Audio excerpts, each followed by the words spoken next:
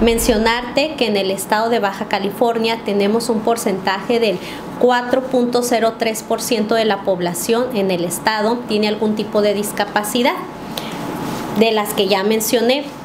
La discapacidad que más se da en nuestro estado, de acuerdo con el Censo de Población y Vivienda, es una discapacidad motriz con personas arriba de 60 años. ¿Qué nos indica esto?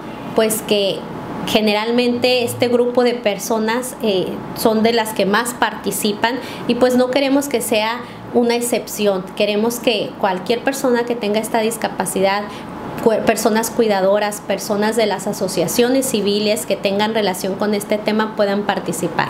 Las son dos fases, la informativa se va a llevar a cabo el día 25, 24 de octubre de manera presencial y 25 de manera virtual, si es que no pueden acudir de manera presencial.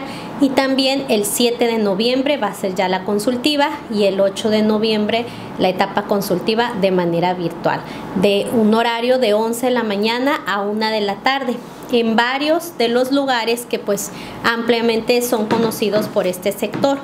En Mexicali va a ser en el Centro Psicológico de Atención a la Familia, en el DIF. En Tijuana va a ser en el CRIT de Baja California. En Ensenada, en el CEART de Ensenada. Y en San Quintín, en la Unidad Básica de Rehabilitación de San Quintín.